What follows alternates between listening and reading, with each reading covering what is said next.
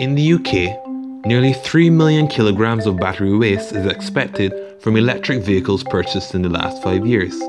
Given the support for low emissions transport, this number will only increase. To make matters worse, there's no current facility in the UK for the large volume recycling of these types of batteries. As a result, they're shipped off for costly recycling.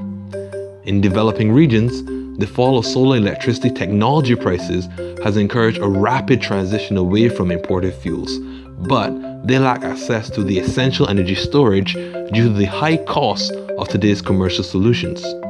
Through reuse, Project Aceleron seeks to address both these challenges, developing technology to transform end of life electric vehicle batteries into safe, cost effective energy storage for developing regions.